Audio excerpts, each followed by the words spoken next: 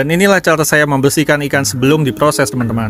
Pertama-tama ikannya kita tangkap dulu dari kolam, jadi ikan ini dipastikan fresh 100% masih hidup ya teman-teman. Ikan yang kita pakai itu untuk frozen biasanya ukuran sekilo 6 ekor. Nah ini salah satu tips dari saya untuk mengurangi bau amis dari ikan, jadi ikan itu disembelih ya teman-teman, jangan digetok kepalanya. Dan juga setelah disembelih itu ikan direndam supaya darah dalam tubuhnya itu keluar semua. Lalu langsung aja kita buang sisiknya, ini menggunakan peeler ya teman-teman.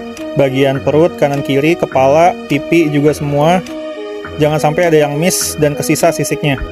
Lanjut buang isi perut, kita buat sayatan di perutnya, tipis aja teman-teman supaya empedunya itu nggak pecah, langsung dibuang kotorannya dan kita seset supaya nanti bumbunya itu lebih meresap ya teman-teman. Kalau semua kotoran udah kita keluarkan, jangan lupa dibilas sampai bersih banget ya teman-teman, pokoknya nggak boleh ada kotoran yang tersisa. Nah ini ikannya yang sudah kita bersihkan, lalu langsung aja lanjut ke tahap pembilasan yang terakhir. Ini pembilasan yang udah bersih. Pembilasan yang terakhir ini kita lakukan di wastafel bersih ya teman-teman. Jadi setelah